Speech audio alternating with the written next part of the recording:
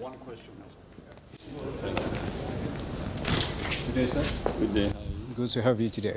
It's uh, rare to have uh, someone like you at the State House at this time. We know uh, something very important must have uh, brought to you. May we have an idea of um, what has uh, transpired in the engagements uh, with the President? No, I think what discussed with Mr. President is before Mr. President, but we were, the private sector is encouraged with um, the bold decisions President Bola Tinubu has taken, and we hope uh, that um, in the fullness of time, Nigerians will benefit from it because it's all about Nigerian people. It's all about youth. It's all about making sure our women are involved and uh, empowered. It's all about making sure our youth get jobs.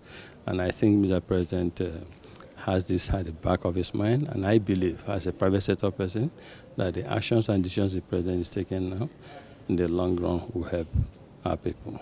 What specific area? of our people, but a bit of patience, you know. You know, Rome was not built in a day, one day like Okay. Thank you very much.